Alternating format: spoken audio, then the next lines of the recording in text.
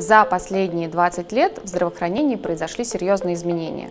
Пациенты с хроническими заболеваниями стали жить на 10 лет дольше. Но у нас также есть сложности. Мы не можем такого пациента лечить в больнице все это время. Это невозможно. Соответственно, нам нужны цифровые сервисы, которые помогут наладить контакт между врачом и пациентом, а, чтобы врач мог наблюдать за показателями здоровья пациента удаленно.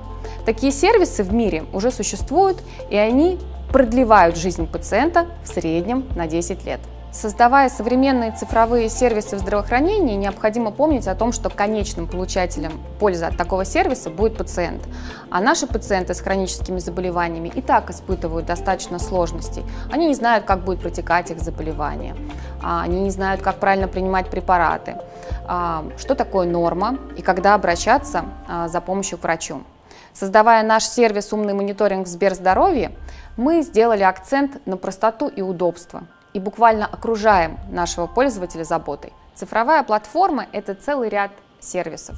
Мы получаем данные с приборов и передаем их в режиме реального времени врачу. Врач общается с пациентом в чате. Но если мы выявляем критическое отклонение, то врач звонит пациенту и уточняет, какая помощь ему требуется, помогает ему решить те вопросы или проблемы, которые у него возникают.